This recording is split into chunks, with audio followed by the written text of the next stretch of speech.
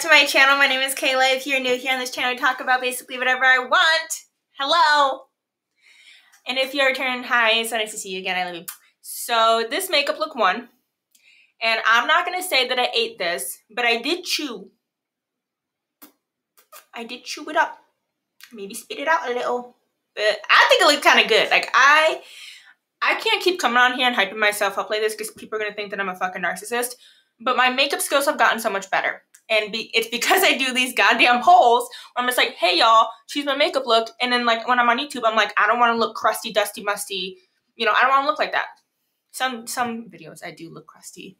My last video I, I did look crust. You know, it's given crust. But I think I kind of ate this one. And just to let you guys know, these are fake. I mean, I actually do have my nose pierced, but I couldn't find my stud anymore because, um, little story time. I used to work at a grocery store chain, and I had my septum pierced and my nose pierced, and they told me that I had to take them out in order to work there. And so I did, and then I never put them back in. And that was in 2015. so it's been a really long time. I don't know if my septum closed. I'm gonna assume that it did, unfortunately. But I have other piercings too. I've had my septum pierced, had my nose pierced. I want my eyebrow pierced, and then I have like parts of my other parts of my body pierced that are more like sensitive. Anyway, but I want to get this. Whatever this is called, this is cute as shit. Regardless, I, I do think I kind of ate this down. Let me turn on my light a little bit because it's like okay. Okay. Today we're gonna be talking about music. This is completely different than what I usually talk about on this channel. Usually I talk about body positivity, fat acceptance, and all that stuff. And don't worry, I'll be going back to it. But I really want to talk about music. Okay? Because I have been listening to so much music recently. But today we're going to talk about Mitski because Mitski's my girl. I love Mitski. I have loved Mitski probably since 2016 because between 2016 2018 i met a new group of friends that were very much into the kind of music that i listen to now Okay. Um, unfortunately, I'm not really friends with them anymore, but I still love listening to the music, sincerely. So, like, artists like Angel Olsen, Chelsea Wolfe, fucking Mitski, Weyes Blood, Beach House, fucking. Wow, some of them are skipping me. Those are really the, Fiona Apple, obviously. Um, Ethel Cain, stuff like that. You know, the girls you know, the gods. The you know, polytheistic, these are my gods. I am obsessed with them. People call it sad girl music. I can't help but relate. Oh yeah, cults too. Yeah, probably. Yeah. I'm perpetually kind of sad. Not in like, okay, kind of like in a little bit of a depressed kind of way, but this music is cathartic for me, okay? A lot of people that listen to, like, don't want to listen to sad music when they're sad, and I get that. Okay? I get it, but I don't understand because I do. Okay? Because crying for me is cathartic. It makes me feel kind of good after. That's it. That's kind of delusional to say out loud. But yeah, it kind of does. Y'all never listen to Chance by Angel Olsen while dry heaving on the floor? Anyway, um, I listened to this album recently, even though Puberty 2 is my sorry. Even though Puberty 2 is my favorite Mitski album, LP, whatever, this one is a this one is second. Okay. Be the Cowboy. I did like Be the Cowboy. Don't don't get me wrong, it wasn't my favorite, but I did like it. But this one, this one came at a perfect time in my life. And I have tried to shoot this video two other times now each time it's like, oh, I'm gonna have a little wine, oh, da, da, da, a little wine, and I'm gonna get on a camera, and I'm gonna do this, and each time I fucking cry. And you know, even though I said crying is cathartic, I can't be, I can't be crying on Bezos internet. I can't be, I can't perpetually cry on the internet. Okay, even though, because I find it cringy, and even though cringe isn't real, you know, it's a feeling. I'm not gonna look back on this and be like, go get your fucking shit together. You know what I mean? I don't want to do that. So we're gonna do this sober.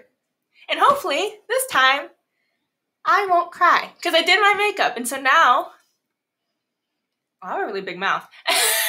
like a capybara was a person. Um, but now, hopefully, I won't cry. So, Whatever. Someone tell me what this piercing is because I want it. I'll find it. Don't worry. Fuck it. I'm not gonna make y'all do the work for me. I'll find out what it is and probably get done. But so we're just gonna go through all these songs and talk about them. Go through some of the lyrics. If you haven't heard the album yet, I highly, highly, highly suggest you listen to the album before watching this. I will, I will not be putting any snippets or anything of the songs in this in this video just because of copyright. Because YouTube sucks ass, and I can't put music in this. I don't know how I don't know how some of those channels do it, where like the turntable, like the guy and his like dad, you, you know, the guy is like kind of hot dad, turntable, yeah. Like I don't know how they do it, but I'm not gonna I'm not gonna risk it. Okay, I'm not gonna risk it. So we're gonna go through some of these songs and I'm gonna t- tell you guys my favorite. And then I want y'all's opinion too because I sincerely love talking about music with other people. It's not super revolutionary that I love music. I mean, everybody fucking likes music, but I just like talking about music with people because I really, really like music. So, with that being said, let's go through some of these songs and I'll talk about them a little bit. Okay. So, the album is called the land is inhospitable and so are we. Okay. I've listened to this album probably four, four or five times now going this will be my fifth time listening to the whole album in full. I was gonna sit here and like try to play a little bit of music, but like copyright exists, unfortunately, and so there's not really much I can do about that. But I will go through some of the lyrics of my favorite song. So we're gonna start off with Bug Like an Angel. So Bug Like an Angel is an incredibly strong piece and it's so beautifully done. It's so beautiful and the music video for this is beautiful. The the choir the chorus everything is just beautiful. The vocal harmony is beautiful. It's literally just a stunning piece. There are some lyrics here. I have the lyrics pulled up here so i can make sure that i have them correct. But right in the beginning it says as i got older i learned i learned i'm a drinker. Sometimes a drink like feels like family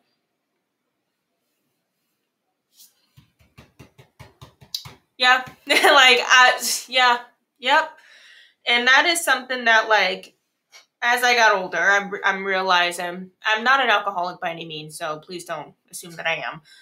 But there have been times in my life where I have turned to substances for comfort, alcohol being one of them, food also being one of them, honestly.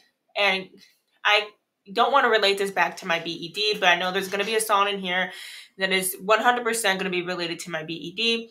But this song made me, it kind of just like broke me down.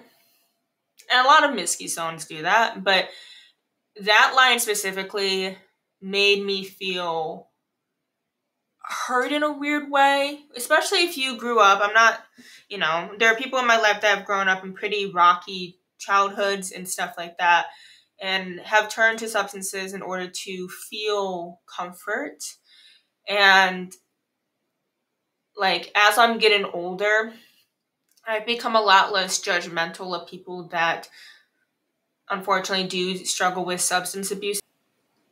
And as I've gotten older and I've experienced a lot of heartache and like just being broken myself, in a lot of instances and turn to things in order to seek comfort in them, I've become incredibly less judgmental of of people turning to substances for comfort, like sincerely. And I think we need to all show a lot more compassion to people that struggle with it. I know that there are people that really choose it over their families and their children and their livelihood, and I understand that. I understand being frustrated with with that choice being made. Um, but at the end of the day, like I just think about how much people, how much human suffering exists, whether externally or internally, and how oftentimes there's never like decent outlets that are even affordable. Like therapy's fucking expensive. There are just not outlets for people to feel comfort in besides going to the liquor store or going, you know, somewhere to do something. And it's just it's heartbreaking and it just made me realize as I got older, um, that I too seek out comfort in things when I should actually be like talking to somebody about them. And food was really, really mine, to be honest with you guys.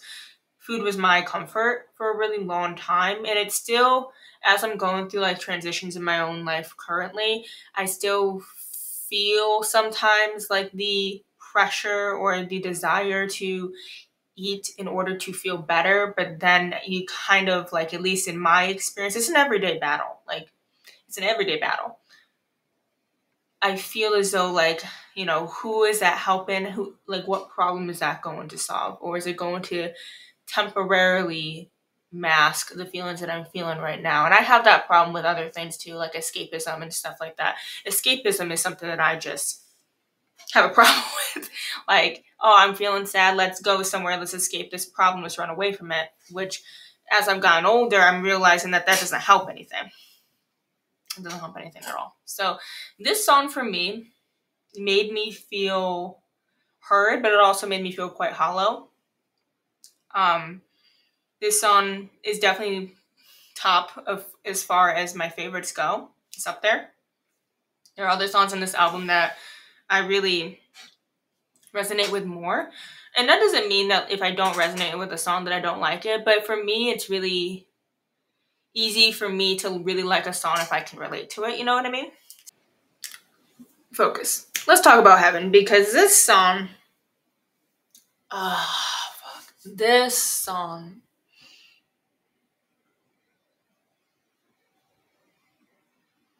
This is the part where I started crying when I was a little drunk, so I'm not trying to.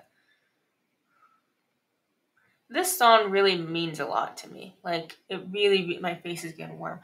This song really means a lot to me. Like, really means a lot to me. And, like, the composition of the song reminds me of, like, this just like. It's like floating romanticism. It's just so beautiful beautifully composed. It's like do, do, do, like the way like you escape with this song, especially if you're in love, um, and or if you're falling out of it. Um, it makes you really, really just like feel like it's so hard to describe you know, sometimes it's hard to like articulate feels, like feelings, um, because sometimes there are just things that you have to feel in order to understand. And with heaven, I definitely get that. Um, for me, this song really means a lot about cherishing people and finding heaven within relationships, finding heaven within somebody else, and rather than seeking heaven, you know, in a religious sense. You know what I mean? I'm not religious whatsoever. I think I've made that pretty clear on my channel. Um, but the concept of finding something like heavenly within the soul of another person or within the embodiment of another human being is something that I do believe in. Um, do I believe in soulmates? Not necessarily. I don't think that there's someone out there that can fulfill every need that you have. Um, I do, I genuinely feel that way. But I do think soulmates for me is putting in time and effort with somebody and learning to grow with them as an individual, learning to learning to being willing to learn how to learn with another person. And that doesn't mean that you have to sacrifice any part of yourself, like your self worth. Um, but it, it does mean that there is this collective unit. If you, I'm going to only speak for monogamous relationships, but there is like a collective unit, and you work to make that better. And what that means is not sacrificing your sense of self, but compromising on things that you thought were really non negotiable things. Um, for me, finding heaven within another person means really cherishing their existence, even if it's imperfect. So, I Don't Like My Mind is one of the songs on this album, if not the song on this album, that I love so much, but it's it's listen to it as an act of catharticism. like it's really an act for me to like listen to the song because it is very difficult for me not to compose myself with it. This is sometimes music has that effect on me. Like sometimes music just has that effect on me, and I think other people that are highly emotional people can relate to that. Um, and so this song was the one that I listened to, and I was like, "This is my BED. This is my BED. My, I don't like. Ooh, gosh, this is okay. I'm gonna read some of the lyrics, and we're gonna talk about it. So let's get into it. It says. I don't like my mind. I don't like being left alone in a room with all its opinions about the things that I've done. So, yeah, I blast my music loud and I work myself to the bone. And on an inconvenient Christmas, I eat a cake, a whole cake, all for me. Okay.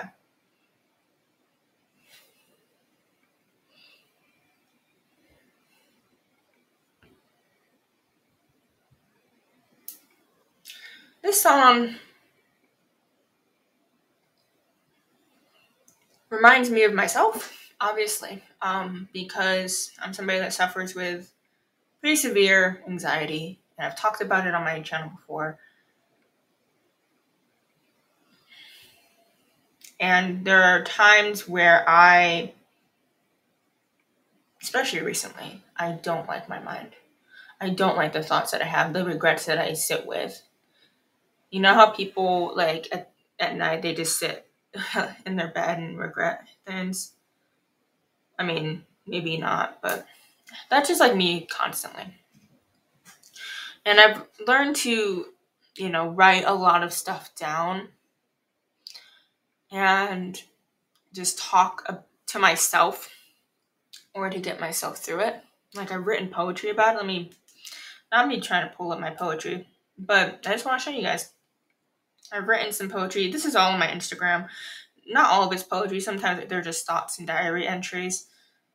Um, like this one. It says, learning to embrace the pathological vulnerability that comes with the feelings of falling for another's existence, while trying to remain self aware and emotionally mature enough not to become a limerent onlooker. Allow yourself to feel the innocence of vulnerability while not obsessing over it another one says these are just diary entries that I wrote down and then I put them on Instagram because why the fuck not? Says I'm addicted to the feelings of infatuation and subsequent disillusion. I've learned nothing of this habit, but let me feel. I am not built to exist without longing, and if I wasn't desired, I would not know how to be a girl, and I would not know how to be alive. Which that one reminded me of a Mitski song that I heard, honestly. Um, I this this song made me really really just like put into perspective a lot of my own life um especially when she said an inconvenient christmas oh fuck. Like every year for like the past few years like i have pretty bad seasonal depression as well. Look at look at me. I have pretty pretty bad seasonal depression as well and i live in a state that doesn't get a lot of sunlight. And so um, it's not not that great. So um, every year, like Christmas comes around, and I do kind of see it as an inconvenience, and that's horrible. But that's just the reality of it, you know. Like every time that holiday comes around, I don't really look forward to it. It's not because I'm ungrateful or that I don't love my family. I absolutely love my family. But it always comes at a time when I'm mentally doing probably the worst. And uh, it's always just an inconvenience. And when I was struggling a lot with BED, um, I would eat a whole cake easily. You know, you the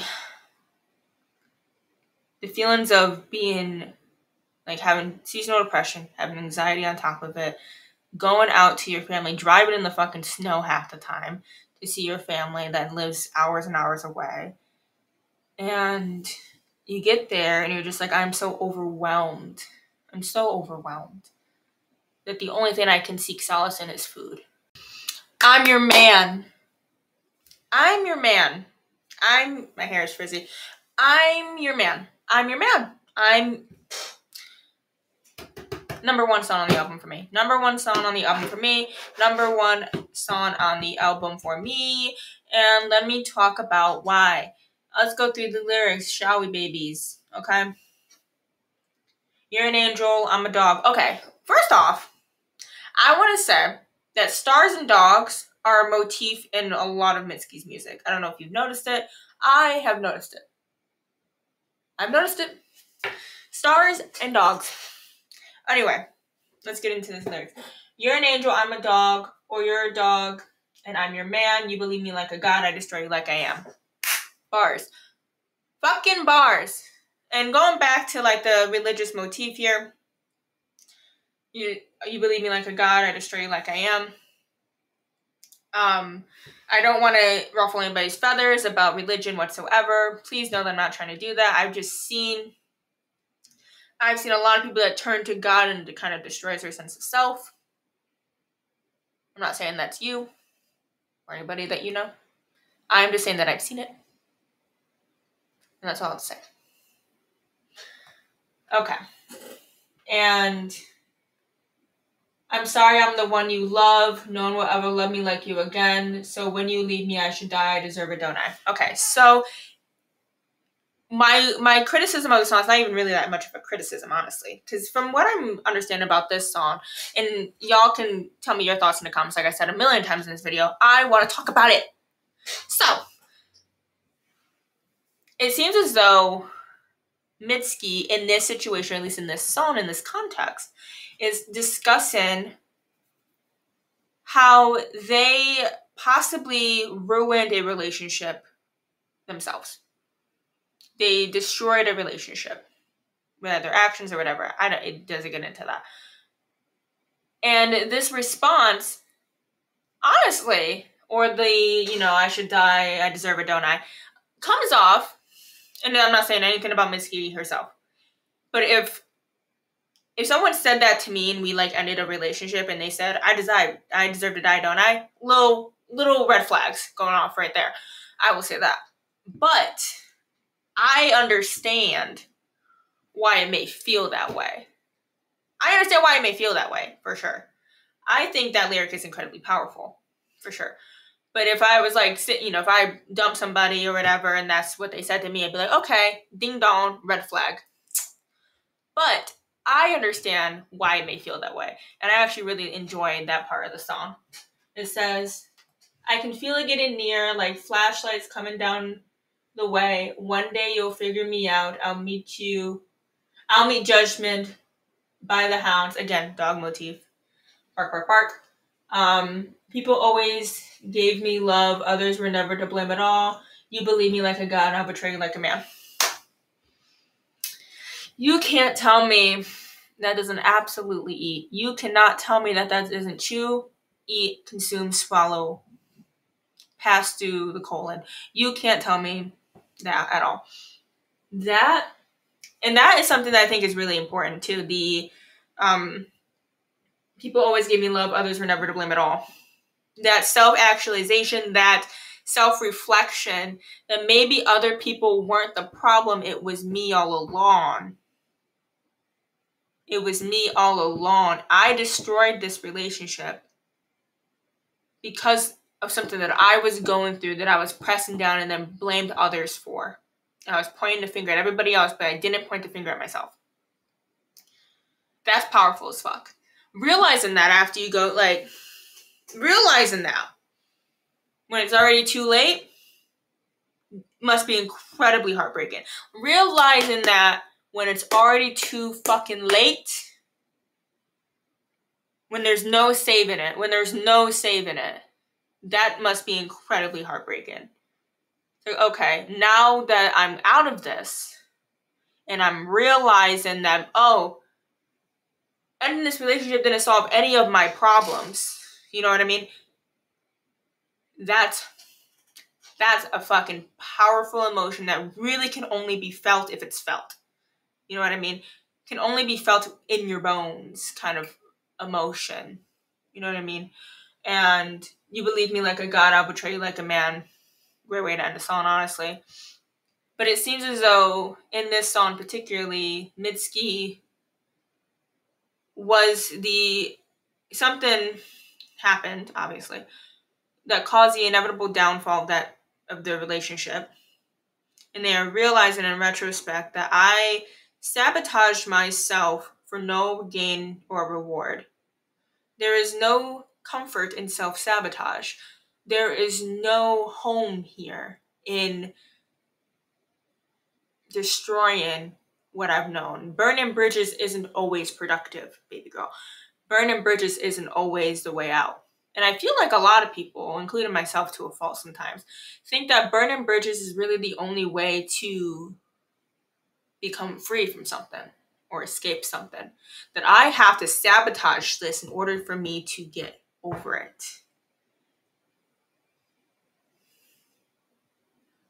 That I have to sabotage it, that I have to destroy it in, in order to overcome it.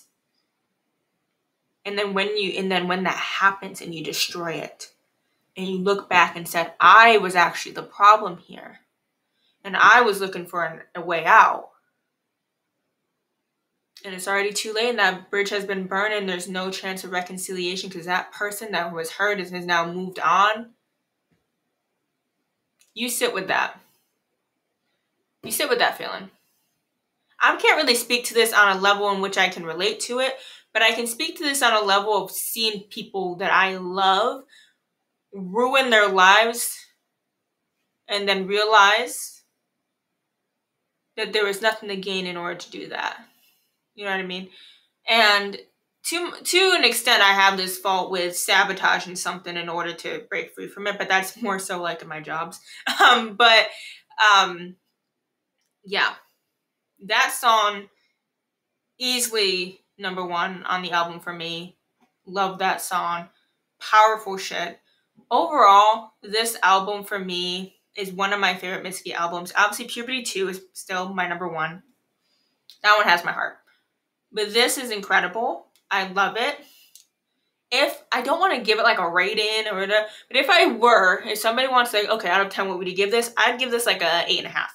I'd give it an eight and a half because there were some songs in here that I that weren't my favorite and I didn't really talk about them very much. But the amount of songs that I did really like on this album keeps me going back to this. I will, I will probably be listening to this album again tonight with another glass of wine and maybe cry a little. Tell me what your thoughts are. All right. See ya. Bye.